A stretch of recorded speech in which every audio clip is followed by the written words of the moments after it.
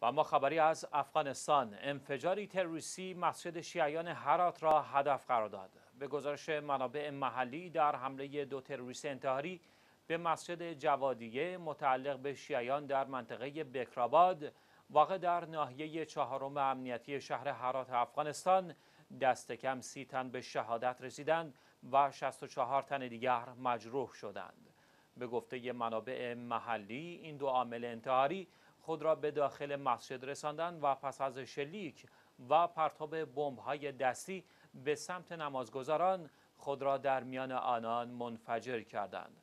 پس از این انفجار نیروهای امنیتی در محل حضور یافتند و پیکر شهدا و مجروحان این اقدام تروریستی را به بیمارستان هرات منتقل کردند.